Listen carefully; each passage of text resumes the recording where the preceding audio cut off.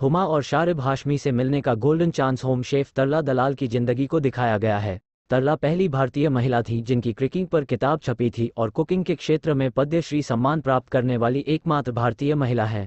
हुमा कुरैशी और शारिब हाशमी से यह मुलाकात रविवार 2 जुलाई को दिल्ली में होगी। हुमा और शारिब से मुलाकात के लिए आपको देना होगा बस आसान से सवाल का जवाब। सवाल का सही जवाब देने वाले चुनिंदा लोगों को इन स्टॉल्स से मिलने का मौका दिया जाएगा। विजेताओं को मैसेज के द्वारा वेन्यू और समय के बारे में सूचित किया जाएगा। मीट योर स्टार आपका सवाल है। फ़िल्म तरला में लीड रोल किस एक्ट्रेस ने निभाया है?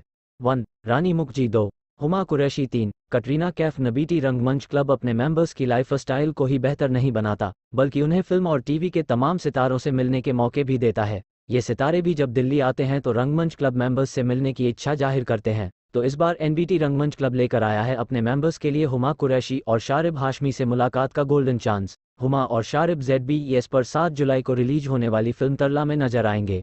इस फ़िल्म में हल्के फुल्के अंदाज में भारत की आइकॉनिक